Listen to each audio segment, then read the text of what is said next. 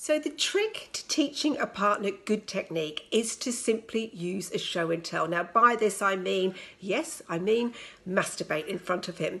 So, this is the only real way that he can see exactly what gives you pleasure, and it's a lot easier to show a technique than it is to try and explain it with words. So, tell him what you're doing, tell him that this is exactly what you're going to be up to. Make sure you use your fingers, not your vibrator, obviously, so he can replicate the technique. Make sure there's lots of light so he can see exactly what's going going on. And during it, if you feel embarrassed, simply close your eyes. It just removes all embarrassment.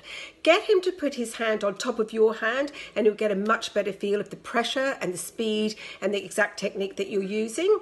If it's oral sex that he's having problems with, just, just demonstrate on the palm of your hand or the palm of his hand, and he can get an idea of the tongue technique that works for you.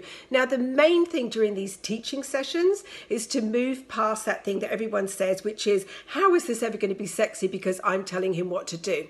Well, that particular session is not going to be sexy, obviously, is it? But later on, when he's got the technique right and you're reaping the benefits of that, then it will be sexy and it will all have been worth it.